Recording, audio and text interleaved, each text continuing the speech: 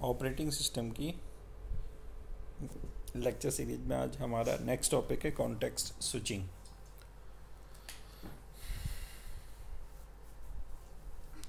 तो context switch क्या है? एक मेथड होता है या मैकेनिज्म होती है।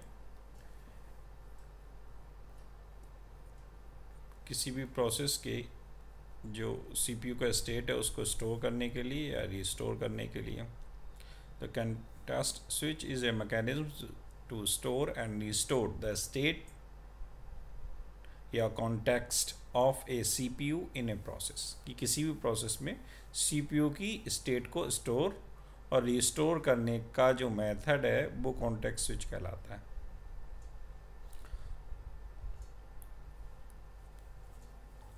और इसी वजह से जो प्रोसेस कंट्रोल ब्लॉक में हमारा प्रोसेस होता है, उसको सेम पॉइंट से हम कुछ टाइम बाद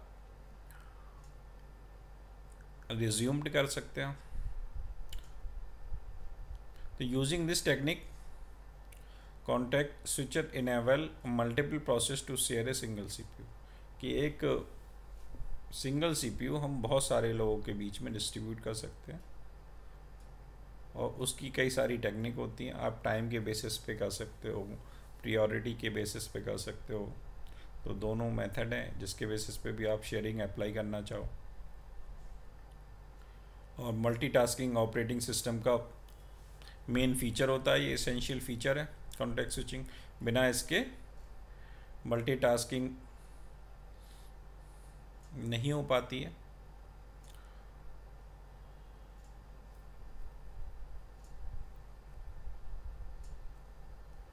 जब कभी भी शेड्यूलर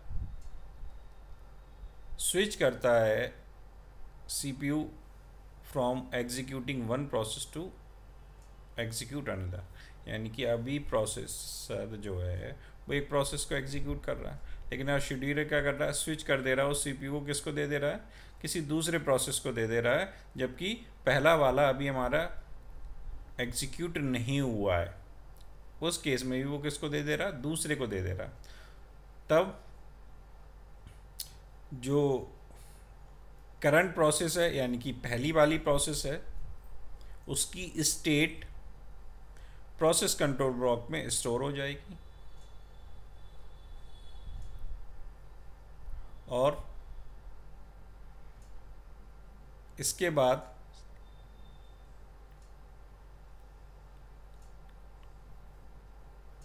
अगर वो प्रोसेस कंप्लीट हो जाएगा, तब वो पीसीबी से दोबारा रिज्यूम्ड कर लेगा। और पीसीबी में सारी डिटेल होगी उसके रजिस्टर्स की डिटेल होगी प्रोग्राम काउंटर की डिटेल होगी। और उसके बाद आप नेक्स्ट प्रोसेस को स्टार्ट कर सकते हैं। तो इस ढंग से इस पर वर्किंग रहती है। अब हम अगर इसे डायग्रामेटिकली समझें तो इस ढंग से हम डायग्रामेटिकली समझ सकते हैं। कि एक प्रोसेस पी वन है।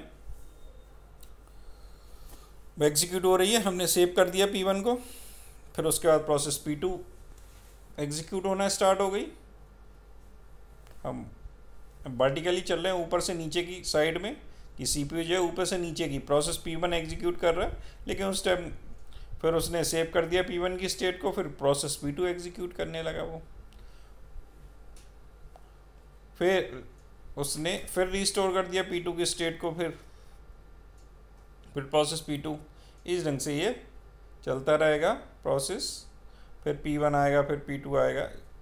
तो कॉन्टैक्ट स्विच जो है automatically intensive since register and memory state must be save and restore कि जो भी रजिस्टर्स की वैल्यूज़ हैं मेमोरी की स्टेट हैं, वो सेव हो जाती हैं और रिस्टोर हो जाती हैं अपने आप आसानी से।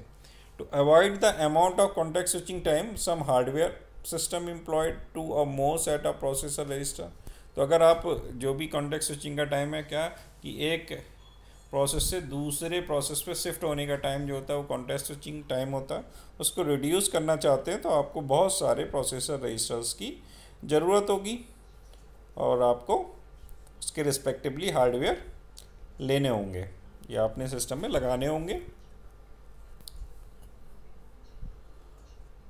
जब भी प्रोसेस स्विच होता है तो जो नीचे दी गई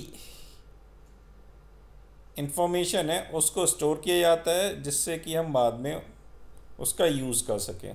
पहली है प्रोग्राम काउंटर की वैल्यू दूसरी है शेड्यूलिंग की इंफॉर्मेशन तीसरी है बेस और लिमिट रजिस्टर की वैल्यू चौथी है करंटली यूज्ड रजिस्टर और पांचवी है चेंज्ड स्टेट ये सारी वैल्यूज़ हैं और उसके साथ साथ input output state information accounting information ये सारी हमें इंफॉर्मेशन सेव करनी होती हैं। जिससे कि हम अगर फर्दर कोई और प्रोसेस एग्जीक्यूट करेंगे तो ये जब हम रिज्यूम करेंगे तो ये सारी वैल्यूज़ हमें इसके पीसीबी कंट्रोल ब्लॉक से मिल जाएगी।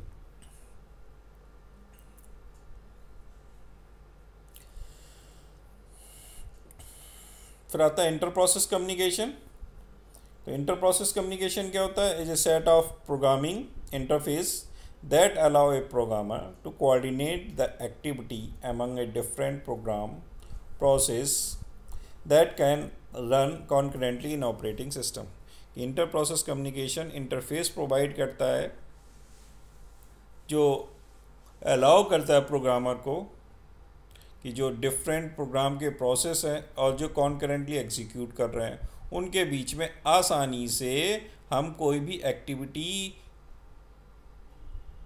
कोऑर्डिनेट कर सकें।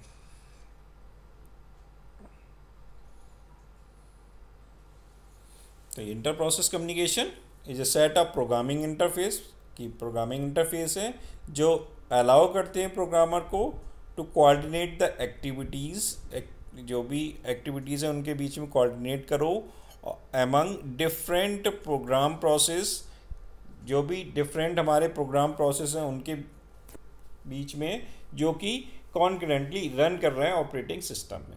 तो उसके लिए हमारा इंटर प्रोसेस कम्युनिकेशन यूज़ होता है। और this allow a program to handle many user request at the same time ये